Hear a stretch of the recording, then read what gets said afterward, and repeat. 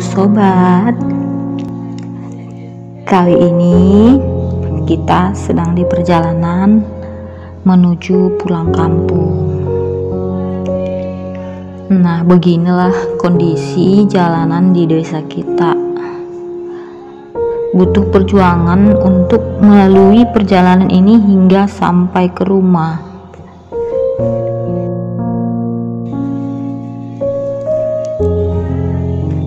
Di sini kita bertemu dengan ibu saya ya. Nah, ibu saya sedang mengayam tikar. Paham ya, mengayam tikar ini menjalin sebuah bahan untuk menciptakan sebuah tikar.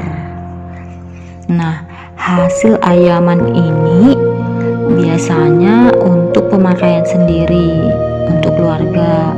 Terkadang juga jika ada yang mau beli,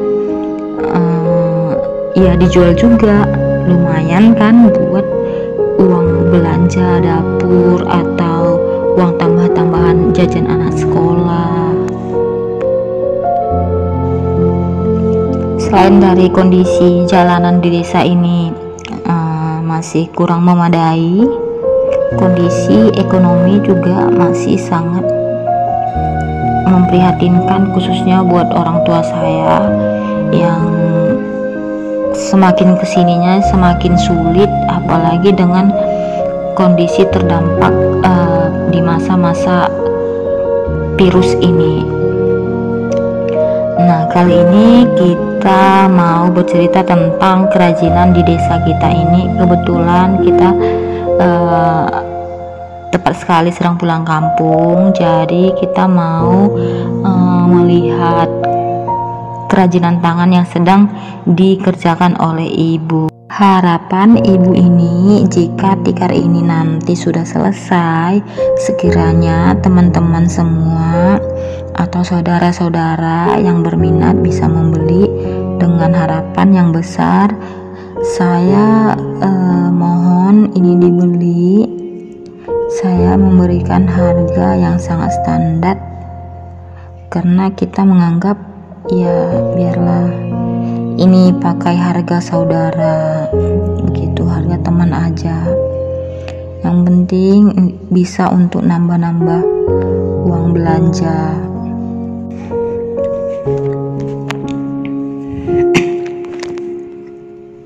Kehidupan yang semakin sulit ini memaksa ibu saya ini untuk semakin produktif di mana penghasilan yang semakin sedikit karena usaha berjualan yang kemarin sudah tidak berlanjut lagi karena terdampak.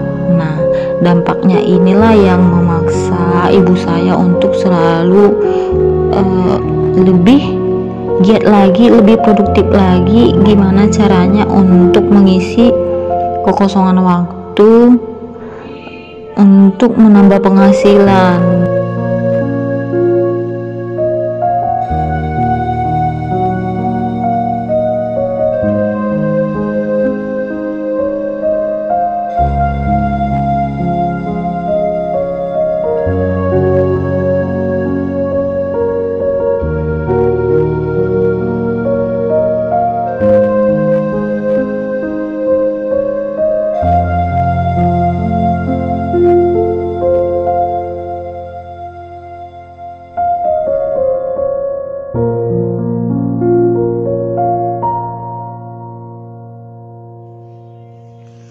Sini juga ada nan tulang saya juga sama-sama mengayam tikar.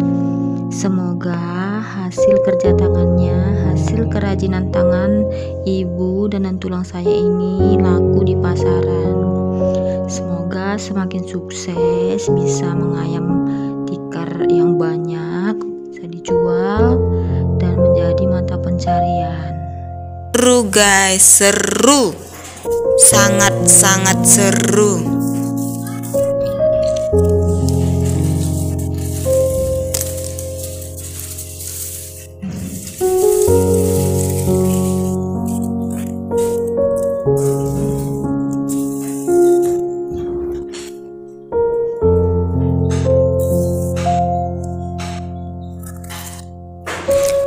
Harus penuh dengan kesabaran ya guys. Ini kalau nggak sabar nggak siap-siap guys. Intinya kalau nggak sabar nggak siap aja. Tapi kalau sabar bisa buat 5 tikar atau 10 tikar. Terus boleh pesan ya guys. Ini dijual guys. 100 ribu satu guys.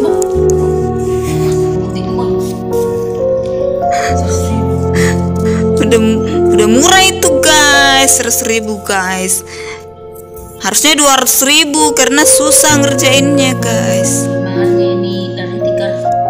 Belian tikar plastik.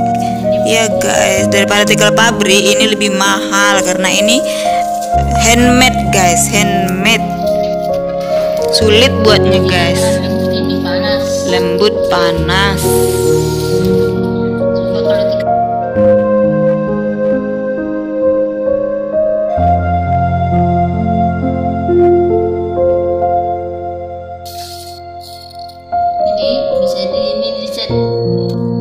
dikasih warna. Ini bisa dikasih warna guys.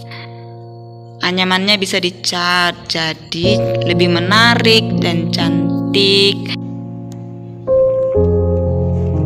Oke, terima kasih udah mau mengikutin kita ya. Jangan lupa selalu untuk jaga kesehatan, jaga imun tubuh agar terhindar dari segala hal-hal yang tidak diinginkan. Salam sukses, salam sehat, sampai jumpa di video selanjutnya.